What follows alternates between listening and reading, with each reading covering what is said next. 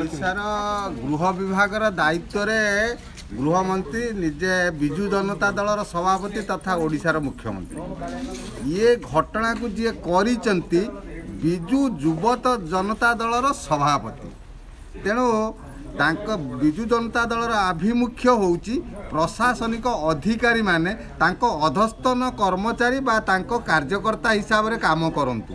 ସେଇଥିପାଇଁ ଏ ଧମକପୂର୍ଣ୍ଣ କଥା ଗୁଡ଼ିକ କହିଛନ୍ତି ସେଥିପାଇଁ ମୁଁ ଏ କଥାକୁ ନିନ୍ଦା କରୁଛି ଘୋର ନିନ୍ଦା କରୁଛି ଓଡ଼ିଶାବାସୀ ଏ କଥାକୁ କେବେ ସହ୍ୟ କରିବେ ନାହିଁ।